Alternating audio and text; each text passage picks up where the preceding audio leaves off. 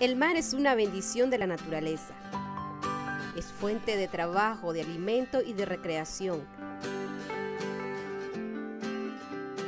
Día a día, miles de personas disfrutamos y vivimos de él. Pero también la naturaleza puede ponernos en situaciones, aunque sean poco comunes, donde nuestra vida corre peligro y es bueno saber actuar correctamente para poder estar a salvo. Pueblo nicaragüense es víctima hoy de una nueva tragedia. Extraoficialmente se dice que al menos 60 personas murieron y centenares más quedaron heridas en la costa pacífica nicaragüense, donde un maremoto hizo anoche estragos. El primero de septiembre de 1992, un tsunami impactó la costa del Pacífico nicaragüense causando 170 víctimas fatales. En ese tiempo solo íbamos a hablar de terremotos cuando sucedió en el 72 el de Managua nosotros sentimos un retumbo, como, un, como un, temblorcito, pero nadie se movió porque, porque no teníamos ni idea de, lo que era. Pues. Bueno, yo me salí en carrera al lado del, río, porque yo nunca supe lo que era un maremoto. Tengo 65 años y nunca pues se había visto eso hasta ese día. Comenzaron a sonar la radio, a llamar, pidiéndonos información y nosotros estábamos limitados realmente de dar mayor información porque no estábamos claros qué es lo que había pasado. No teníamos ninguna, ninguna experiencia de, tsunami o maremoto. ¿Qué íbamos a saber nosotros que sobre del temblor? Porque había, ya había habido temblores. Y después de ese temblor se vino eso. Nunca creyó la gente. Es cuando sentimos que no lo teníamos encima. En 1992, la población nicaragüense no sabía nada acerca de los tsunamis y mucho menos supieron qué debían hacer cuando el evento se presentó.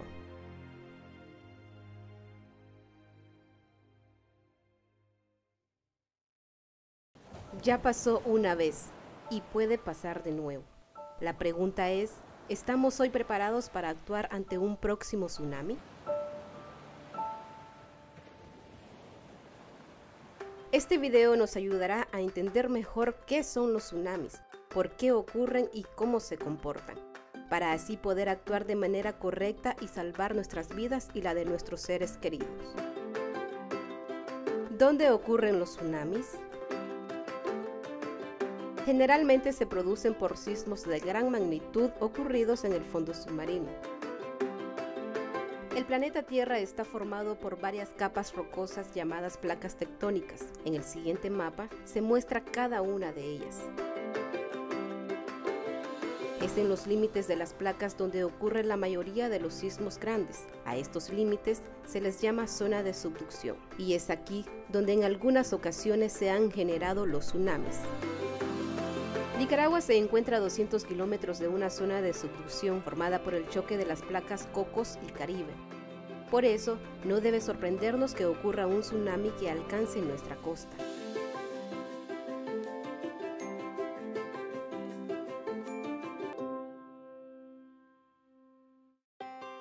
¿Cómo se produce un tsunami? Una zona de subducción es un lugar donde dos placas tectónicas chocan. Este choque provoca un empuje hacia abajo que deforma el suelo marino un par de centímetros al año y genera además la acumulación de estrés.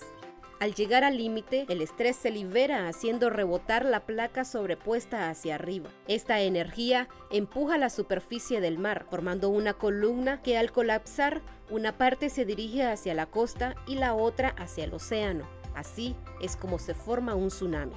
Mientras tanto, las placas iniciarán un nuevo ciclo de acumulación de estrés que provocará otro tsunami en el futuro. ¿Cuándo? No lo sabemos. ¿Cómo es un tsunami? Un tsunami no es una ola común, sino una gran masa de agua cuya longitud de onda es mucho mayor. En otras palabras, es como un gran muro de agua con alto poder destructivo. Al arrastrar gran cantidad de escombros, esto los hace más peligrosos, ya que aumenta el riesgo de morir aplastados o por golpes, antes que ahogado. La fuerza de un tsunami es tanta que esto es lo que provoca una ola de tan solo 50 centímetros.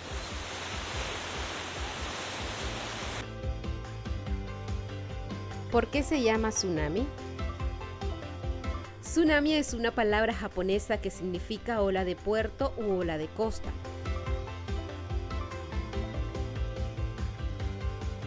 Debido a que solo son visibles una vez que están cerca de esta. Cuando se forman, los tsunamis son olas de poca altura que se desplazan muy rápido. A medida que se acercan a la costa y la profundidad del mar disminuye, la velocidad también disminuye, pero la altura aumenta haciéndose visibles. Sin embargo, cuando un tsunami es divisado, su velocidad es igual a la de un atleta profesional, haciendo que sea muy difícil escapar hasta ese momento.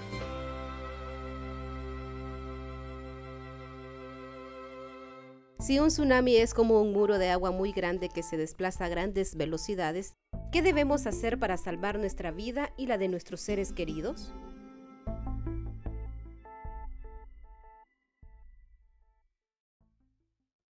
En la costa nicaragüense, el tiempo de llegada de un tsunami ronda entre los 30 y 40 minutos después del sismo. Ante esta situación, hay tres reglas sencillas que se deben cumplir frente a la posibilidad de un tsunami. La primera es, si sentimos un temblor fuerte o prolongado, evacuemos de inmediato hacia una zona alta.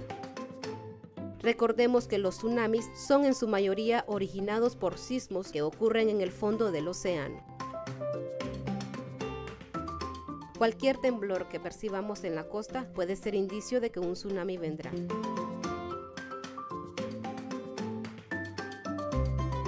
Por eso debemos evacuar a zonas altas siempre que sintamos un temblor. La segunda regla es, si suena la sirena, evacuemos de inmediato a una zona alta.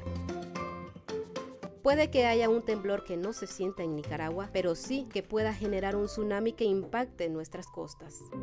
El temblor que provocó el tsunami de 1992 no fue percibido por toda la población.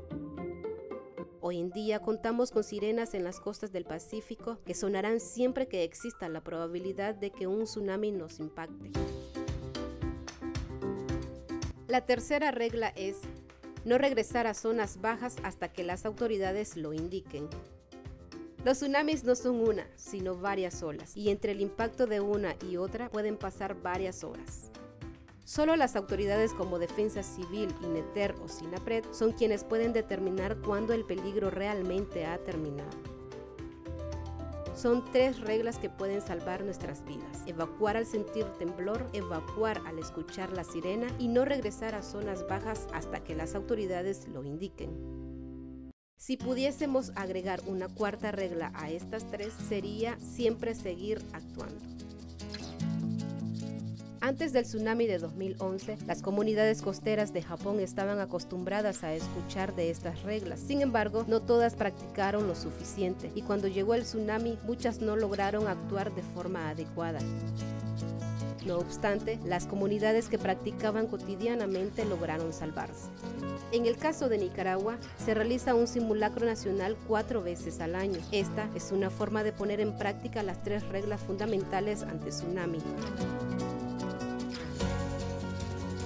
Al enseñar y poner en práctica las reglas a la niñez, así como promoverlas y practicarlas dentro de la familia y la comunidad, garantizamos nuestra seguridad y la de las personas que queremos.